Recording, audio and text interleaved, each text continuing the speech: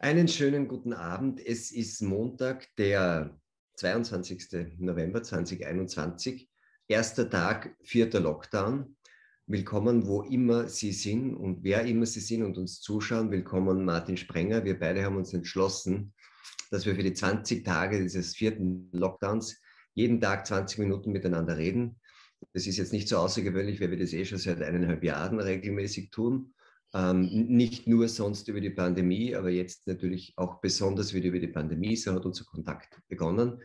Wir halten uns nicht unbedingt für die oberschlauesten Pandemieerklärer, haben aber eigentlich Gefallen daran gefunden, ähm, Fragen zu stellen und irgendwie Antworten zu finden, die hin und her zu schicken. Manche sehr ernsthaft, manche weniger ernsthaft. Ich hoffe, wir werden es hier auch so halten. Äh, ich hoffe, wir werden das auch äh, einhalten können, dass wir nur 20 Minuten machen. Der Lockdown dauert angeblich 20 Tage, also bis zum 13. Dezember. Da wäre ich mir nicht so sicher, ob das stimmt. Sie können sich aber sicher sein, dass nach dem 13. Dezember Sie uns hier nicht mehr sehen. Also wir halten uns an die zeitlichen Begrenzungen. Also noch einmal schönen Abend, herzlich willkommen. Herzlich willkommen auch Martin Springer. Ja, danke Michael für die Einführung und danke ja, ich finde die, die Idee äh, ist einfach nett, ja, sich ein bisschen zu unterhalten über etwas, was glaube ich alle verwirrt, ja, uns inklusive. Äh, und ich erinnere mich noch gut äh, an, an unser, unseren ersten Kontakt. Ja, du hast also eine E-Mail geschrieben, das war Anfang April 2020. Das war noch die Zeit, wo ich noch in dieser Taskforce, äh, Corona-Taskforce im Gesundheits- und Sozialministerium war. Aber nicht mehr lang. Ah, ich, genau, ja, stimmt. Auf jeden Fall, aber und hast, hast gefragt, ob du, ob, ob du oder ob, ich ein Gespräch mit dir führen möchte. Und du hast mir dann angerufen und und wir haben dann geredet und ich habe eigentlich gedacht, ja, so fünf Minuten, wie halt üblich. Äh, und es ist dann ein sehr langes Gespräch geworden, ja, weil du bist im Auto nach Wien oder Salzburg gesessen. Und es war dann spannend. Es war eine Stunde und wir haben uns, glaube ich, unterhalten wie zwei Suchende, die ganz viel nicht verstehen und irgendwie verstehen wollen. Und dann war diese verrückte Idee, dieses Gespräch aufzuzeichnen, ja, äh, und zu verschriftlichen. Und dann war dieser unglaublich lange Text und ich habe gesagt, das interessiert sicher niemanden. Und und dann hast du gesagt, jawohl, Addendum ist ein Online-Magazin, Online, äh, das, das solche lange Texte aushält. Ja? Und, äh, und, interessanterweise ist der Text dann wirklich eingebombt, ja? im wahrsten Sinne des Wortes. Und da, ich erzähle kurz noch fertig, weil ich finde das irgendwie so ein Schlüsselerlebnis äh, für mich, weil am 6. April, wo, dieses, wo dieser erste Artikel in Addendum erscheint, ja, es, es geht nicht alles, was die Politik uns weismachen will oder so. Oder es geht mhm. viel mehr, als die Politik es geht uns mehr, so, Genau, es geht mehr, als die Politik uns weismachen will. Äh, war am Abend der ehemalige Bundeskanzler Sebastian Kurz beim Armin Wolf in der ZIP 2 und der Armin Wolf sagt zum Sebastian Kurz irgendwann einmal plötzlich, aber der Sprenger hat gesagt, die Bundesgärten hätten nie geschlossen werden dürfen, auch nicht die Wandergebiete, also die Menschen hätten irgendwie rausgehen sollen, sich bewegen, weil das gut ist für ihre Gesundheit und wenn sie den Abstand einhalten, ist das Infektionsrisiko gering. Und das war ja auch, so bin ich zum falschen Experten geworden, ja. Und, äh, und dann irgendwie war ein Donnerwetter, ja, mit dem ich überhaupt nicht gerechnet habe, weil eigentlich war ja die Aussage korrekt, ja, aber und das war. Das Donnerwetter war doch interessant, oder? Weil es, äh, es hat dir den Ruf eingebracht, vom Bundeskanzler ein falscher Experte zu sein. Es hat dir in einem gewissen Teil der Öffentlichkeit den Ruf eingebracht, irgendwie so das, was man dann später Querdenker genannt hat, so Corona-Skeptiker und so weiter zu sein. Und die Frage ist ja immer, wie sehr muss man eigentlich inzwischen betonen, ähm, dass man nicht glaubt, dass das Virus nicht existiert, dass man nicht glaubt, dass das Virus vollkommen ungefährlich ist, dass man nicht glaubt, dass Impfungen gar nichts helfen. Das ist ja interessant, oder, wie sich dieses Narrativ festgesetzt hat, dass jeder, der nicht eins zu eins sozusagen das, was ähm, eigentlich seit fast zwei Jahren Common Sense ist in der, in der öffentlichen Diskussion, was notwendig ist und, und, und ähm, sozusagen auch alternativenlos ist. Wenn man das hinterfragt, und wir haben halt immer gefragt, dann muss man eigentlich sich schon irgendwie äh, rechtfertigen und abgrenzen, dass man eh doch nicht, weiß ich nicht, bei der Demonstration jetzt am Wochenende mitgegangen ist oder, weiß ich nicht, ähm, sich mit den Wurmungsmitteln äh, zum Frühstück ähm, irgendwie gurgelt oder so. Das ist eigentlich interessant, nicht? Also das sozusagen die, die schlichte der schlichte Versuch, irgendwie Fragen zu stellen und ähm, sozusagen gängige Narrative hin zu hinterfragen, zu sagen, kann es nicht auch anders sein, fehlt da nicht was, so solche Dinge, dass das eigentlich fast schon zu viel ist. Ne? Ja, aber, aber gehen wir nochmal zurück an den Anfang. Ja? Also am Anfang hat man ja wirklich wenig gewusst. Ja? Also man hat, man hat äh, quasi, die, die, viele Fragen waren noch unklärt, ungeklärt. Also jetzt, glaube ich, weiß man schon um einiges mehr. Aber am Anfang wäre es eben ganz, ganz wichtig gewesen, äh, so diese Pandemie als gesamtgesellschaftliches Ereignis auch wirklich wahrzunehmen und auch viele Fragen zuzulassen. Ja, also das hätte mich, hätte mich also das hätte uns wahrscheinlich geholfen, die Lern Lernkurve noch steiler zu halten. Und das stimmt, ja, also selbst wenn man es als Sozialwissenschaftlerin oder Gesundheitsökonom angeschaut hat, also der Einleitungssatz musste immer sein, äh, das ist ein ernstzunehmendes Virus, ja, und es darf auf keinen Fall mit Influenza verglichen werden, äh, sonst darf ich als Gesundheitsökonom jetzt nicht gesundheitsökonomische Analysen machen, ja. Und das ist oder als Gesundheitswissenschaftler gesundheitswissenschaftliche Analysen zu machen. Und das ist halt etwas schwierig, weil wie uns die aktuelle Situation zeigt, ist es ja so, dass dass äh, wir nach wie vor Passagier sind in, in einem. Ich wollte es gerade sagen, weil du sagst, das war ja jetzt, ja jetzt lang her, April 2020. Inzwischen haben wir ja wahnsinnig viel gelernt und dazugelernt und wir haben Dinge, die wir sozusagen in unseren Gesprächen als Annahmen hatten, haben sich, glaube ich, vollkommen als falsch erwiesen. Anderes vielleicht eigentlich als relativ haltbar, obwohl man das vielleicht nicht geglaubt hätte.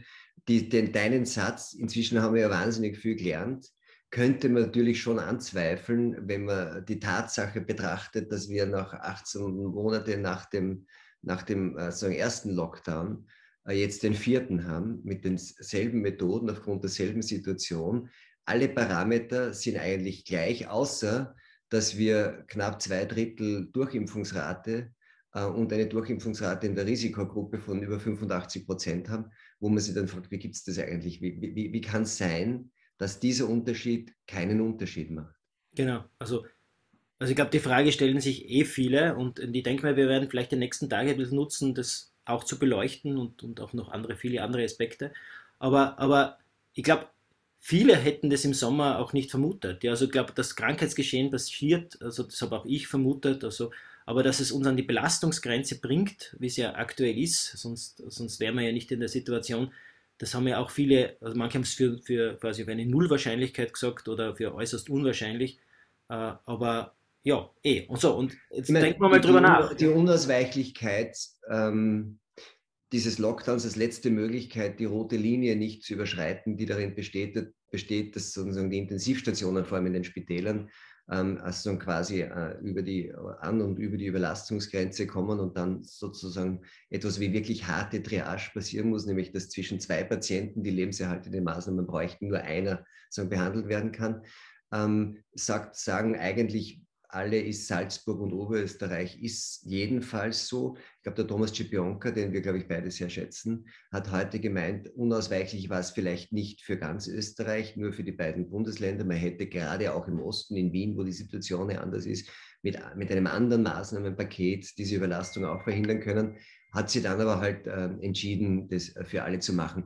Ähm, egal, jetzt haben wir diesen äh, generellen Lockdown, diesen bundesweiten und vielleicht sollten wir heute ja mal nur als erstes mal uns nochmal anschauen und, und die Frage ähm, sagen, in Anrissen beantworten, wie konnte es dazu kommen? Ähm, und ich würde sagen, es könnte man zweiteilen, die Frage. Das eine ist, was ist im Infektionsgeschehen passiert? Dass sozusagen diese Anstiege, und das ist ja immer so, wenn es einen massiven Anstieg im Infektionsgeschehen Geschehen gibt, dann ist auch bei einer hohen Durchimpfungsrate eine gewisse Anzahl, die dann halt einfach ins Spital kommt und von der wieder ein gewisser Teil auf die Intensivstation kommt. Das Verhältnis ist ja jetzt trotzdem viel besser als noch vor einem Jahr. Ne? Also wenn man die, die, die, die, die Stufen von äh, Infektionen zu Hospitalisierungen zu äh, intensivpflichtigen Patienten ist ja, ist ja günstiger, aber immer noch so hoch, auch weil das Infektionsgeschehen noch steiler ist als im mhm. letzten Jahr, dass zumindest in zwei Bundesländern das an die äh, Grenzen kommt. Das heißt, was ist im Infektionsgeschehen passiert und was ist eigentlich in den Krankenhäusern passiert, weil es fällt ja schon auf, dass wir ähm, jetzt bei 530 belegten Intensivbetten mit Corona-Patienten stehen ähm, und, äh, und das eigentlich nach den Berechnungen des letzten Jahres noch nicht so dramatisch ausgeschaut hat oder hätte. Das heißt, du musst auch in den Spitälern was passiert sein. Und die beiden Wirkungen zusammen haben offenbar dazu geführt, dass relativ früh eigentlich auch im Vergleich zu 2020 diese roten Linien so fast erreicht wurden und man deswegen so zum härtesten Maßnahmenpaket gegriffen hat. Beginnen wir vielleicht mit dem Infektionsgeschehen, weil das ist ja auch der Anfang. Der Endpunkt ist ja eher die Intensivstation. Ja, ja, klar. Also man, man muss auch sagen, also das, das, das Infektionsgeschehen, das wahre Infektionsgeschehen kennen wir nicht. Ja? Also wir haben wir haben äh, 180.000 Personen, die aktuell als aktive Fälle zählen. Das ist enorm. Ja. Und wir wissen nicht einmal, was die Dunkelziffer ist. Also die Dunkelziffer könnte Faktor 2, 3, vielleicht viermal höher sein, weil ja manche asymptomatisch sind, manche verkennen ihre Symptome. Also wir haben enormes Infektionsgeschehen. Aber so, so viel ist einmal sicher. Ja. Jetzt können wir irgendwann einmal darüber reden, warum haben wir so ein hohes Infektionsgeschehen, hat sicher was mit, mit der Saisonalität zu tun, aber auch mit, mit Treibern der Infektion. Äh, Faktum ist, ja, viele Menschen sind infiziert, das bedeutet ja, dass auch Menschen krank werden und die Intensivstation, wenn man so will, ist das Ende der Fahnenstange. Ja. Und, aber vielleicht nochmal zum Anfang eine Frage, wenn man sagt, das Infektionsgeschehen und was sind die Treiber und was ist das versteckte Infektionsgeschehen? Mhm. Eine Annahme ist ja, dass die, dass, ähm, dass ähm, sozusagen die, die, die Geimpften, die relativ wenig getestet wurden. Ich habe einmal geschrieben, die werden gar nicht getestet, was ein großer, äh, großer Sturm in Rüstung. Ich aber im siebten Bezirk bin brav und teste mich trotzdem dreimal. Wird eh sein, wird auch viele geben. Aber ich würde sagen, äh, es spricht alles dafür, dass im Großen und Ganzen ähm, sozusagen diese. Die, ja, also außerhalb von Wien, außerhalb von Wien sind ja, einfach. Die, die Geimpften ja. nicht mehr getestet wurden. Das ist seltener deutlich. lassen wollten, weil das war ja sozusagen die Belohnung dafür, dass sie sich impfen haben lassen, dass sie alle diese Einschränkungen ja, nicht mehr haben. Das heißt, die, die äh, werden höchstwahrscheinlich und der, der Impfschutz, also sozusagen gegen, gegen, gegen schwere Verläufe, ist ja doch noch ganz gut ähm, sodass also sehr viele asymptomatische Überträger unter den Geimpften vermutlich vorhanden sind. Ja, gut, ich meine, das, das, wie gesagt, das können wir nachher noch näher beleuchten. Also es war ja irgendwie die Hoffnung, dass diese Impfungen zwar nicht zu einer, zu einer sogenannten sterilen Immunität führen, also die Übertragung vollkommen, vollkommen verhindern, aber doch in einem hohen Ausmaß. Ja? Und jetzt sieht man schon, dass je nach je nach abhängig von, von der verwendeten Impfstoff ja, und auch dem Zeit, die vergangen ist seit der letzten Impfung, also diese Wirkung nachlässt ja, und, und bei manchen Impfstoffen sogar gegen Null geht. Ja. Was bedeutet, dass auch zweifach Geimpfte ja, durchaus äh, plötzlich Überträger von Virus werden. Und wenn nachher nur der Kontext passt, also ein geschlossener Raum, wo viele Menschen auf engem Raum äh, laut singen, schreien, tanzen, Alkohol konsumieren, dann hast du genau das, was man halt am Anfang der Pandemie als sogenannten Superspreader-Event bezeichnet haben. Ja. Und das waren sicher, sind sicher auch Brandbeschleuniger. Aber in Summe ist es, glaube ich, ein multifaktorielles Geschehen, dass das Infektionsgeschehen jetzt hochgegangen ist. Ja. Du sagst, es ist ein multifaktorielles Geschehen. Ja. Das Narrativ der österreichischen Politik war, es ist die Pandemie der Ungeimpften. Genau, und das, das Narrativ, glaube, muss man inzwischen sagen, ist falsch. Oder? Genau, natürlich. Und es ist, also es ist insgesamt zu sagen, äh, da kann man, müssen wir, glaube ich, auch drüber reden, weil ja weil ja, du solltest in einer Pandemie ja immer versuchen, das Kollektiv zu stärken, ja, den sozialen Zusammenhalt zu stärken. Und der Satz Pandemie der Ungeimpften ist genau das Gegenteil. Es treibt einen Spalt in die Bevölkerung. Ja. Und Zugleich, entschuldigen Sie da schon jetzt unterbrich und also quasi kurz ans Ende der Fahnenstange in die Intensivstation geht. Ja, genau. Zugleich muss man natürlich auch sagen, dass, die, dass, dass sozusagen der Lockdown und die Notwendigkeit des Lockdowns natürlich schon mit den Ungeimpften zu tun hat, Klar, weil sowieso. die landen zu 90 Prozent genau. Äh, in der genau. Intensivstation. Genau. Ja. Ähm, wobei man dann allerdings wahrscheinlich dazu sagen müsste, ungeimpfte Risikopatienten. Ja, genau. Also man kann sich das, das werden wir uns noch genauer anschauen. Also wer liegt eigentlich auf Intensiv? Ja, also kann auch gerne mal herzeigen, also so Daten aus Ländern, die das wirklich sehr transparent darstellen. Also man kann für Österreich ja nur Vermutungen anstellen. Aber, aber letztendlich intensiv ist, die, ist das Ende der Fahnenstange. Ja? Also, und, äh, und die Intensivversorgung, äh, wenn man sie überlastet, bedeutet das natürlich auch eventuelle Unterversorgung von anderen akuten Fällen oder wie schon angesprochen, im schlimmsten Fall Triage. Aber äh, es bedeutet natürlich auch Schwerstarbeit für die betroffenen Personen. Da muss ja auch, das sind ja Pflegepersonen, Ärzt, Ärztinnen, Ärzte, die dort arbeiten. Das ist beinhart. Ja? Also deswegen ist es, ist es nachvollziehbar, dass wir jetzt einmal die Notbremse ziehen. Aber, ja, aber äh, es besteht eben nicht, äh, Intensivstationen bestehen eben nicht nur aus Betten und Beatmungsgeräten, sondern wie schon gesagt aus Personal. Und da haben wir, glaube ich, äh, ein Riesenproblem, ja, und das ist ein Personalproblem, ja, und vor allem im Bereich der Pflege. Und da kann man sich dann schon die Frage stellen, äh, warum haben wir nicht im Frühjahr 2020 das als, als wirkliche Baustelle wahrgenommen und dann versucht auch präventiv, also vorbeugend auf den Intensivstationen für Personalpools und ausreichend Personal zu sorgen. Auch, auch noch im Frühjahr 2021 wäre noch Zeit gewesen. Es ist doch einige, seine Monate vergangen, ja, bis heute. Und man hat so das Gefühl, da ist jetzt nicht wirklich viel passiert, weil das, das Österreich sozusagen bei 540 Intensivpatientinnen und Patienten äh, in die Knie geht. Ja, wir hatten am Höhepunkt damals 760, also niemand soll auf Intensiv landen, möglichst wenig Fälle auf Intensiv. Ja. Aber äh, trotzdem äh, ein Lockdown ist per se ja auch keine Maßnahme, die hat ja, die hat ja auch viel Schaden. Ja? Also die, die Abwägung, äh, jetzt die Intensivstationen schützen, bedeutet, dass dort anscheinend wirklich das Personalproblem wahrscheinlich viel vorrangiger ist als das Bettenproblem. Und da habe ich schon irgendwie interessante Erfahrungen gemacht, jetzt auch in diesen äh, ein, dreiviertel Jahren, auch in der, in, in, in der Sendung, im Talk im Hanger, weil dann, also in der zweiten Welle, war, habe ich dann sehr oft die Frage gestellt, wenn man aus der ersten Welle wusste, dass der Engpass die Intensivstation ist und dort aber auch nicht sozusagen die technische Komponente, also wie viele Betten mit der entsprechenden technischen Ausstattung gibt es, sondern habe ich das Personal, das das bedienen kann. In der zweiten Welle im Herbst ähm, 2020 gefragt habe, aber warum hat man da nicht, das wussten wir ja schon seit dem Frühjahr, warum hat man nichts getan? Dann war die lapidare Antwort immer, sie glauben, wir wollen nicht, dass man die irgendwie einfach so zusammenklagen kann, die Intensivpfleger, das ist alles langwierig, kann man nicht von heute auf morgen ausbilden. Sage ich aber, man hätte vielleicht beginnen können im Frühjahr 2021, äh, nächste äh, so quasi Welle mit Lockdown, aber warum hat man eigentlich in dem Bereich wieder was, das Problem äh, sozusagen des Personalengpasses in den Intensivstationen? Wieder die Antwort, ist, wie naiv sind Sie eigentlich? Das kann man ja nicht von heute auf morgen aus dem Hut zaubern. Jetzt haben wir November 2021 und jetzt stelle ich mir die Frage, ist es dann doch so ein umfassendes äh, sozusagen Programm und so ein umfassender Prozess, dass man in 18 Monaten auch nicht äh, sozusagen ähm, äh, Gesundheitspersonal von wo auch immer so ausbilden kann, dass es den Dienst auf einer Intensivstation als Pfleger verrichten kann? Ja, eh. also man, also das ist so, so ein klassische Evaluierungsfragen, ja, also das, das muss man sich auf jeden Fall fragen, weil pff, wer weiß, wo uns die Pandemie noch überall hinführt, ja. Aber, aber ich sage mal, man hätte sicher viel, viel mehr tun können, ja, um äh, zumindest für ausreichend Personal zu sorgen, ja, weil das, das bedeutet ja auch, dass, dass man sozusagen auch die, die Schichten, die Dienste verkürzt. Also da müssen, muss ja jetzt Personal ja ganz viel einspringen, ja, Überstunden machen. Das ist ja alles unglaublich belastend, ja. Also ja, eh, wahrscheinlich hätte man wahrscheinlich viel mehr tun können, ja, aber wie gesagt, das muss man auch rückwissend beur beurteilen. Also ich glaube, wir können auch zum Teil nur Fragen aufwerfen, wir werden nicht alles beantworten können. Ja? Aber das ist sicher ein zentraler Aspekt, der, warum wir aktuell in der Situation sind, in der wir sind. Ja?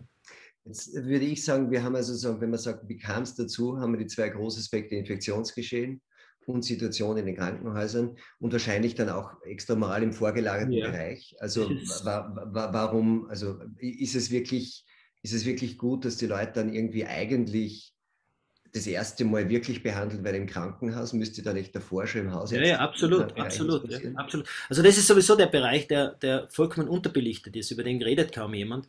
Also wahrscheinlich so wie bei vielen Krankheitsbildern, 90 Prozent auch bei Covid-19 passiert in der Selbstversorgung. Ja? Also das sind Menschen, die haben entweder ganz wenig Symptomatik oder keine Symptomatik, sind in Quarantäne und brauchen nicht einmal eine Ärztin oder einen Arzt. Ja? Und dann hast du halt einen gewissen Anteil, die halt schwere Erkrankungen, aber kein Spital brauchen, sondern einfach nur gute Betreuung, vor allem aber gutes Monitoring. Ja? Und das Monitoring soll ja nur gewährleisten, dass zum Beispiel jemand nicht zu spät ins Krankenhaus kommt, weil das Krankenhaus. Also nicht unnötig und nicht zu spät. Genau, ne? also, das genau also das Krankenhaus ist ja dann erfolgreich, wenn, wenn, wenn, wenn, wenn Menschen sozusagen noch im Spital auch dort dann auch die speziellen Medikamente bekommen können, die eben in dieser Phase noch helfen, ja, um dann auf der Normalstation verbleiben zu können und nicht auf die Intensiv zu müssen. Und wenn die zu spät kommen, also gleich von der Notaufnahme auf Intensiv und gleich intubiert, äh, dann braucht man diese Medikamente gar nicht mehr einsetzen. Ja? Also das ist, äh, also diese ganze Versorgungskaskade oder Versorgungskette muss halt auch bei Covid-19, so wie bei vielen Krankheitsbildern, äh, möglichst perfekt funktionieren. Nicht ganz, an, nicht, ganz, nicht ganz am Anfang der Pandemie, aber im Laufe, glaube ich, äh, muss man nicht nur auf der Intensivstation perfekt arbeiten, sondern die gesamte Versorgungskette muss eigentlich äh, versuchen. Jetzt würde ich sagen, wenn wir sagen, den Überblick sagen, wie kam es dazu, Infektionsgeschehen, Situationen in den Krankenhäusern, dann ist die, wenn man so will, das Gemeinsame, was da auffällt, ist die Frage der Impfung, nicht? Hätte, hätte sozusagen eine frühere Versorgung mit Drittimpfungen, als man wusste, es ist wahrscheinlich eine dreiteilige ja. Impfung, am Infektionsgeschehen genug geändert und natürlich auch hätte eine höhere Impfquote verhindert, dass so viele Ungeimpfte auf den Intensivstationen ja. landen? Hilft da sozusagen das Durchimpfen oder ist es intelligenter, besser, schlauer, eher sagen, sich mehr auf die Risikogruppen zu konzentrieren? Und weil das der gemeinsame Nenner ist und wir ziemlich exakt unsere ersten 20 Minuten verbraucht haben, weil wir uns schon wieder verquatscht haben, schlage ich vor, dass wir uns morgen ein bisschen eingehender mit dem Impfen in diesen beiden Aspekten unterhalten. Welche ja, ist eine gute Idee. Impfen im Infektionsgeschehen ja. und welche Rolle hat das Impfen zur Verhinderung ja. solcher Situationen, wie wir sie jetzt haben und natürlich daraus resultierend, ist eine Impfpflicht die Lösung. Ja, das machen wir. Du, ja, also morgen geht's weiter, oder? Ja. Morgen geht's unbedingt weiter. Ja, wunderbar. Dann sehen wir uns morgen und reden. Bis morgen.